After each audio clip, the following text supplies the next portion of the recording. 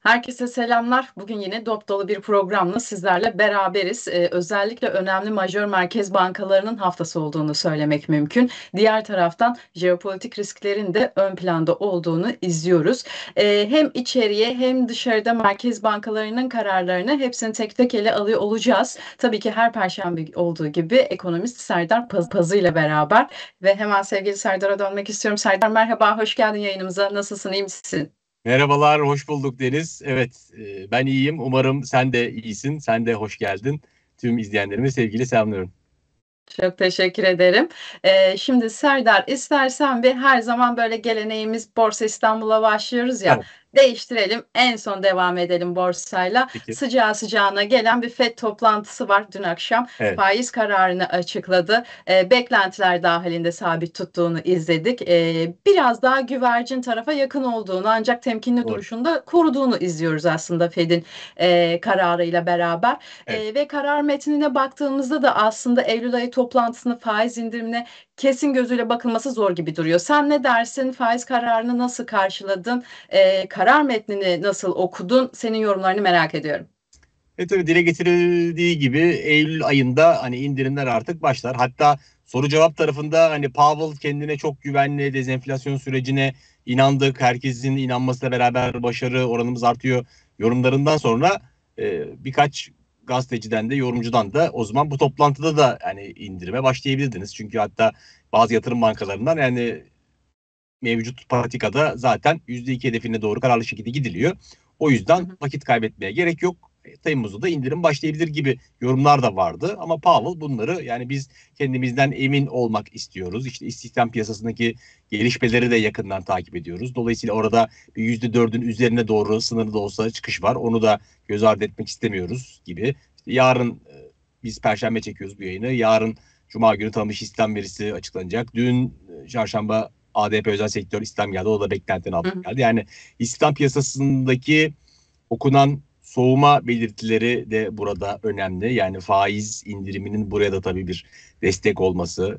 Diğer taraftan ilk çeyrek büyüme verisi beklentinin altında kaldı ama ikinci çeyreğe dair ilk okuma 2.8 ile oldukça kuvvetli bir rakama işaret etti. Yani öyle iç talepte soğuma, ekonomide dengelenme vesaireden e, çok farklı aslında kuvvetli büyümenin devam ettiği gibi. Yani bu noktada da birbiriyle çelişen veriler hani Fed'i biraz daha beklemek birkaç enflasyon verisi, birkaç işsizlik, istihdam verisini daha göreyim. Ondan sonra daha güvenli bir şekilde ilk adım atayım. Çünkü bakıldığında 23 yılın zirvesinde e, faizler ve evet. yaklaşık son 7-8 toplantıdır. Bu 8. toplantı faizlerde değişikliğe gitmiyor. Yani sen hani arttırımları bitirdiysen işte artık 8 e, toplantı demek Fed için neredeyse bir sene demek. E, bir senedir de faizler artık aynı noktada plato yaptıysa bir yerden sonra senin orta uzun vadeli ekonomi için denge faizin 5.25-5.50 bandı değil daha altında bir yerde. E buraya doğru artık en azından bir adım atmalısın. Yani Kanada iki kere faiz indirdi.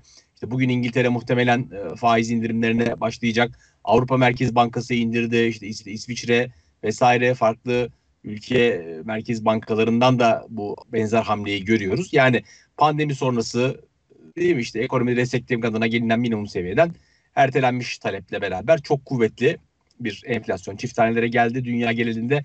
Buradan artık e, gelinen faiz seviyesinden bir aşağı yönde revizyon kaçınılmaz yani Fed de buna Eylül'de başlayacak. Ben daha ziyade hani Eylül'de başlaması artık büyük ölçüde cepte ama e, Kasım'da Aralık'ta yani her toplantıda bir indirim patikasında devam eder mi etmez mi? Evet. Orada biraz kafaların karışık olduğunu e, görüyorum, düşünüyorum. Yani orada yüzde yüzlerde değil tabii çok daha aşağılardan ama hakim ağırlıklı beklenti %50 ve üzerinde ihtimalle Kasım'da da Aralık'ta da 25'er bas puanlık indirimin devamı noktasında. Hatta çok sınırlı da olsa Eylül'de 50 bas puanlık bir indirimle başlar mı? Çünkü hani son işte 23 e, yılın dediğim gibi en yüksek faiz seviyesinde ve Hı. hani artık enflasyon göstergeleri vesaire %2,5'lara 2,6'lara çekerek PC falan geldiyse buradan aşağı yönde seyirde de ilk biraz daha cesur bir adım ama bu adımı attım bundan sonra biraz daha kenarda kalacağım gibi de bir duruş olabilir. Çünkü bölgesel bankaların vesaire yaşadığı işte tuttukları tahvil pozisyonlarından kaynaklı zararlar da burada hani ön planda. O yüzden bunların hepsini bir potoda eritecek olan Fed'in ben Eylül'de indirmeye başlayacağını ve yılın geri kalanında da devam edeceğini ama seçim sonuçları işte Trump'ın gelme ihtimali, Trump gelirse ithalat fiyatları, dünya ticaret dengesi nasıl değişir? Fed Tabii. Politikalarına Trump ne kadar müdahil olur? İşte SEC başkanını görevden alırım diyor.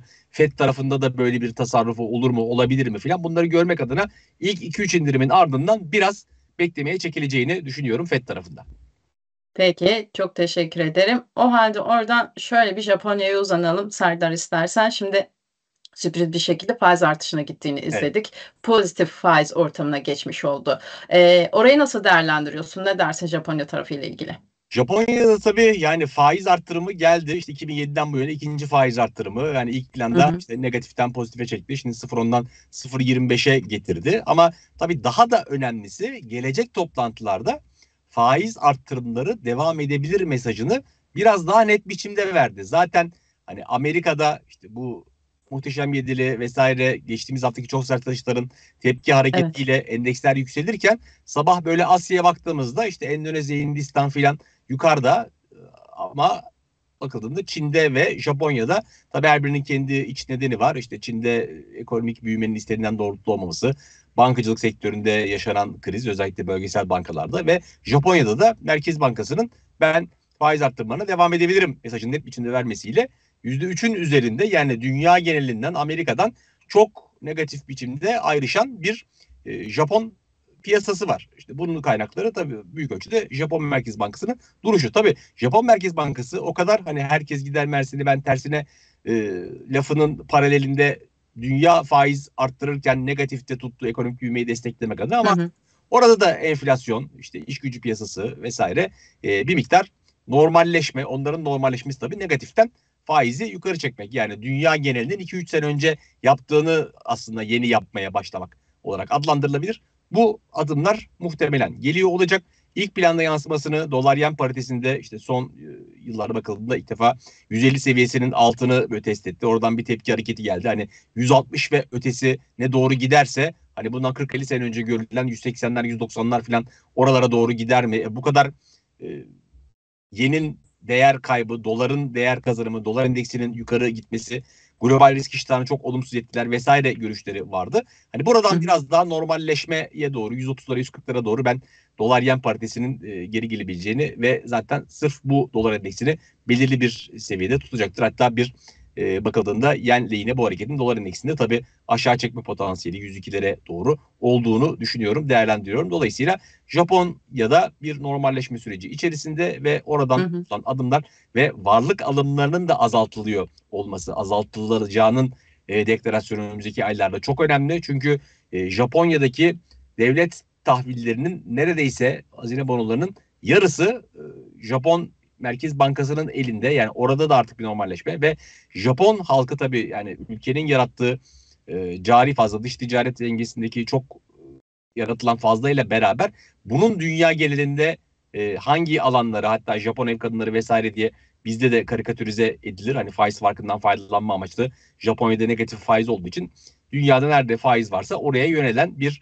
e, bakıldığı zaman işte sigorta şirketleri ya da bireysel yatırımcılar vesaire buradan biraz daha kendi topraklarına e, yayın yatırımcısının geri dönmesinin de gelişen piyasalar üzerinde görece negatif bir etkisi olabilir. Peki, diğer taraftan şimdi, eee, İngiltere Merkez Bankası'nı da biraz sonra alacağız faiz kararını ki baktığımızda, eee, orada enflasyon son yılların en düşük seviyesine inmiş durumda, değil mi? Tabii indirim yapar mı ya da indirim sinyali verir mi? Bunlara göreceğiz ve bununla beraber de baktığımızda GBP için de oldukça önemli bir veri açıkçası. Evet. Sen ne dersin? Oradaki beklentilerin nelerdir ve GBP için, eee, yorumun ne olur? Şimdi tabii orada da hani iktidar değişimi, işte enflasyon verisi ki İngiltere'de enflasyon hani yüzde on birlere kadar yani bu saydığımız majör ekonomiler içerisinde işte Avrupa'da yüzde dokuzlara çıktı, Amerika'da sekizlere çıktı filan. Yani İngiltere daha da yukarıda kaldı. Hatta işte tedarik zincirindeki bozulmalarla işte hiç İngiltere için alışık olmadığımız hani boş market rafları, çok uzun benzin istasyonu kuyrukları vesaire yani o hane halkı daha çok e, yıprandı ve işte başta Londra olmak üzere Hani konut fiyatlarındaki yaşanan artış vesaire de ciddi şekilde bir etki yarattı. Şimdi tabii ekonomiyi desteklemek adına ve e, hane halkını bir miktar yani işsizlik vesaire noktasında desteklemek adına faiz indirimlerinin başlaması. Ama tabii İngiltere Merkez Bankası'nda yani oranın e, para politikası kurulu diyebileceğimiz tarafta işte 9 üye var ve bunlar hakikaten e, dünyanın geri kalanından hani bizde hiç yok değil mi? Hani oylama yapıldı işte 4'ü arttırım 3'ü indirim diye kullandı. Zaten bizde hani başkan ne diyorsa oluyor. Üyelerin muhalif görüşü e, bizde hiç yer almıyor. Ondan sonra ama Amerika'da mesela işte bir iki üye çekimser kalabiliyor. İşte e, pas geçiyorlarsa indirmeliydik filan diye görüş bildiriyor. İngiltere'de bu böyle bayağı kafa kafaya yani sanki hani mecliste bir işte iktidar partisi var bir de muhalif parti var filan gibi hı oylamalar hep öyle oluyor. Yani 7'ye 2, 6'ya 3, 5'e 4 vesaire yani o da bize biraz daha hani bir sonraki toplantıda ne olabilir dair bir sinyal veriyor. Şimdi e, muhtemelen ilk indirim gelecek diye tahmin ediyorum ama bu bahsettiğim e, karışık tam böyle homojen, homojen olmayan e, para politikası kurulu denkleminde yani hakikaten net bir şey söylemek çok güç ama ben ilk indirimin olacağını Avrupa'ya paralel olarak Fed'den de gelen sinyalin bir miktar onları da rahatlatmış olacağını düşünüyorum. Dolayısıyla ilk indirim gelir. İşte nasıl Eurodolar paritesi 1.09'ların üzerinde böyle kalamadı. İşte peyderpey aşağı giriyor. Şimdi 1.08'in altına sakma eğiliminde. İşte sterlin tarafında da 1.30 ve üzerinde benzer şekilde kalıcı olamadığını 1.26'lara 1.27'lere doğru geri çekilmenin devam etme ihtimalinin daha yüksek olduğunu düşünüyorum. Peki, teşekkür ediyorum. O halde buradan da bir Orta Doğu diyelim. Şimdi Evet. orada tansiyon yüksek değil mi? Eee, jeopolitik risklerin yine, eee, oldukça yoğun hissettiğimiz bir dönemdeyiz yine. Evet. Eee, şimdi Orta Doğu tarafını genel hatlarıyla nasıl değerlendiriyorsun? Şimdi gerçekten, hani, tabii jeopolitik tansiyonun, hani, piyasa üzerindeki etkileri bizleri de, hani, işte, güvenlik uzmanlarına, hani, benzer bir şekilde yorumlar yapmaya e, itiyor. Biz de hani elimizden geldiği kadar e, bu konudaki yetkin insanları yani içeride tabii kaynaklar daha sınırlı. Daha ziyade e, dışarıdaki yapılan yorumları iki taraftan da alarak derleyip bir görüş oluşturmaya çalışıyoruz. Tabii şimdi İsrail'de özellikle hani Netanyahu'nun işte Amerika'da gidip kongrede falan konuşması sonrası ve işte insanların alkışlaması vesaire yani İsrail'e hakikaten e, hiçbir şekilde bir hani tepkinin gelmeyeceği e, yönünde yani. Sen ne yapıyorsan yapmaya devam et. Yani bu işte insanlık dramı vesaire yani e, ciddi şekilde sivil kayıpları e, hiçbir şekilde buradan bir geri adımın atılmayacağı hatta mevcut duruşunun neredeyse desteklendiği, e, onore edildiği bir noktadayız. Dolayısıyla işte İsrail'in hani işte Lübnan'da Hizbullah kampını bombalaması, işte Tahran'da e, yeni başkanın töreninde katılan Hamas e, liderlerinden birini işte suikaste uğratması, işte Suriye, Irak vesaire yani bölgedeki tüm ülkeleri yani neredeyse Suudi Arabistan'la işte hani Bahreyn'dir ondan sonra Katar'dır hani zaten duruşları işte Amerika'ya vesaire mesafeleri belirli olanları hariç tutuyorum. Hani hı hı. muhalif olma potansiyeli İsrail'e karşı durma potansiyeli olan herkesi hani mesafe, yer gözetmeksizin her an bir diken üstünde tutan İsrail gerçeği var. Bu da tabii petrol üretim e, tesislerinin petrol sevkiyatını ciddi şekilde e, tehdit altına tutup böyle fiyatlarda bir yukarı yönde hareket yani 80'lerin altına doğru kayan Brent'in bir daha bir 81'in üstüne doğru attığını e, işte WTI'nin Amerikan ham petrolünde benzer şekilde bir yukarı yönde seyir yaşandığını görüyoruz. Jeopolitik riskler tabii altını da e, destekliyor. Güvenli liman arayışı. Orada da yeni zirveler söz konusu olur ama ben altında bir hani ivme kaybı olduğunu işte 2500'ler, 2600'ler vesaire olabilir ama böyle çok 3000'ler ve ötesine doğru e, inanılmaz sert bir yükseliş parabolik hareketin bu noktadan sonra pek olamayacağını. Çünkü yani FED tarafındaki beklentilerle bir yere kadar geldik. Artık faiz indirimlerinin başlamasıyla o beklenti al gerçeği sat modunun altındaki hı hı. momentumu keseceğini düşünüyorum. Yani bu işte şu an 2400'lerde bir %5 falan hareket daha yukarı yönde olup yeni zirveler test edilmez demek değil. Yani bugünden gidin altınızı satın şeklinde algılanmasını istemem ama buradan sonra işte mesela yılbaşından bu yana yüzde otuz değil mi işte bir önceki sene bakıldığında işte 1800-1900'lerden bugüne e, bakacak olursak işte yüzde otuzlara daha biraz daha üstünde bir kazanım var. Hani bu tempoda gitme ihtimalinin ben düşük olduğunu değerlendiriyorum. Dolayısıyla e, yani yatırımcılar gram altın tarafında zaten kur büyük ölçüde yerinde saydığından dolar onsta ne oluyorsa o oluyor yani. Dolar ons 2450'lere yaklaştı diye e, gram altın fiyatı 2600'lerin üzerine geldi.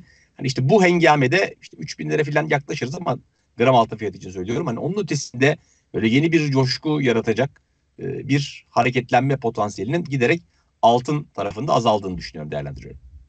Teşekkür ederim. Ben ayrıca altını soracaktım ama gayet de güzel açıkladın. Ağzına sağlık Serdar. O zaman son olarak bir Borsa İstanbul'a gelelim. Evet. Şimdi Borsa İstanbul aslında hafta genelinde yani bugüne kadar satıcılı seyirler izledik değil mi? 11.250 seviyelerinden ta işte e, şu an 10.832 seviyesinden fiyatlanıyor. Buralara kadar geldik. E, keza Eee, bununla beraber bankaların da ayrıca baskılarını da hissettik. Evet. Eee, bunun yanı sıra, işte, bilanço dönemindeyiz.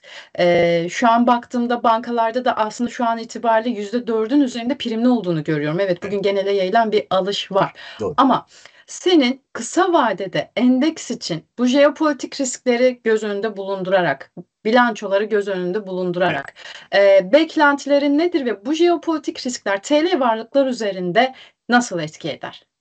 İşte tabii şunu söylemek lazım. Orta Doğu'da tansiyon arttığı zaman hani yüksek beta ülkesi olmasından kaynaklanan Türkiye'nin bir hep negatif etkilenme durumu var. Tabii hani yakın zamanda son böyle bir hafta içerisinde filan hani Türkiye'den de siyasilerden gelen açıklamalar, işte Dışişleri Bakanlığı'nın resmi e, sosyal medya hesabından yapılan paylaşımlar, işte e, İsrail'e işte müdahale olabileceğini düşündürten tonda böyle açıklamalarla e, bizim tabii yani sanki biz de böyle hani İsrail'in Filistin'in hemen yanı başında bir ülkeymişiz gibi fiyatlanması yoksa hani bizim e, coğrafi olarak bir sınırımız vesaire yok. E, ama işte nasıl ilk hani Hamas İsrail'e yaptığı e, füze saldırısı vesaire noktasında nasıl biz etkilendiysek şimdi işte bir miktar daha etkilendik. Sen direkt getirdin 11.250'den 10.600'lere kadar yani tepeden %5, evet. %6 nispetinde geri geldikten sonra bir tepki toparlanma. Tabii tepki toparlanmanın birkaç nedeni var. Bir,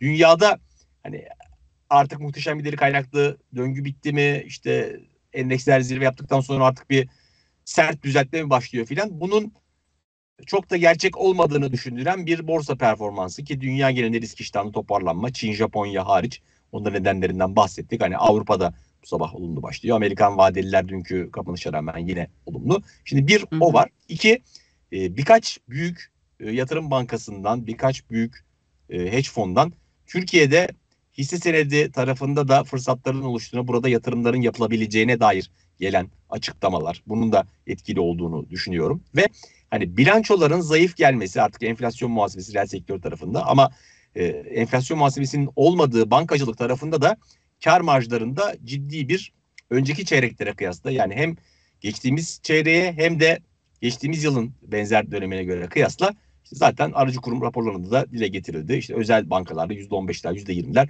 kamu bankalarında %30'lar belki %40'lar nispetinde bir e, karlılıkta bozulma. Ama tabii bunlar büyük ölçüde fiyatlanarak zaten 10.600'e geldik. Yani jeopolitik tansiyonu, bu karlılık tarafındaki bozulmayı vesaire içeren, yansıtan seviyelerde 10.600'ler. Dolayısıyla buradan bir tepki hareketi. Ha bu tepki hareketiyle şimdi 10.800'lerin üzerindeyiz. İşte 11.000, 11.252 tarihi zirvemiz. Hani kısa vadeli bakıldığı zaman önemli dirençler ama hani buralara kadar gidip oranın ötesine gitmesinin nispeten zor olduğu bir denklemin içindeyiz. Yani tam anlamıyla biz jeopolitik taraftan sıyrılma yani tabii e, Filistin-İsrail arasındaki işte gelişmelerin yaşanan dramın sonlanma ihtimali zor ama Türkiye'nin hani bir işte sıcak çatışmaya taraf olabileceğini düşündüren gelişmelerin ortadan kalkması, iki taraftan da sağduyulu mesajların vesaire gelmesi burada tabii çok önemli.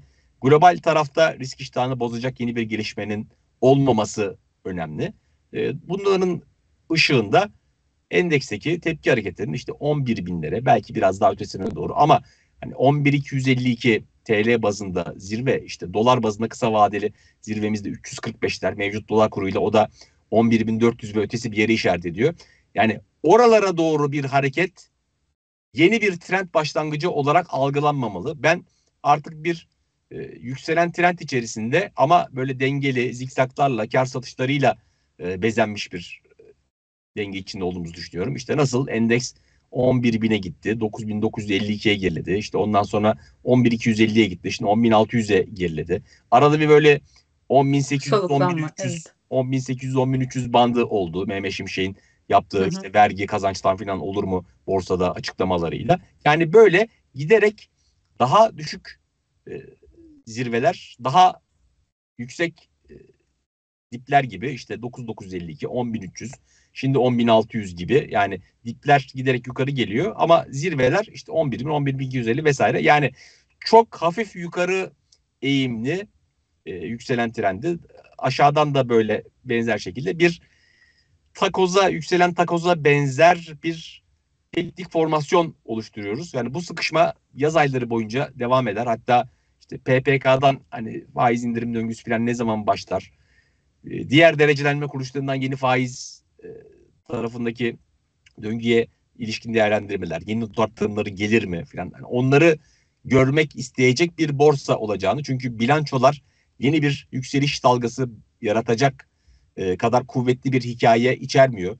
İç talepte hı hı. soğuma, işte şirketlerin e, özellikle ihracatçı şirketlerin e, pazar payındaki azalma vesaire bunları bir araya ben koyduğum zaman işte böyle bir sıkışma içerisinde devam edebileceğimizi düşünüyorum ama tabii sıkışmanın boyutları giderek azalıyor. Yani endeks işte 11 bin 100'e 200'e falan gitti. Ondan sonraki daralmayla belki en fazla 10.750 10.800'e geleceğiz gibi e, değerlendirmek daha doğru diye düşünüyorum.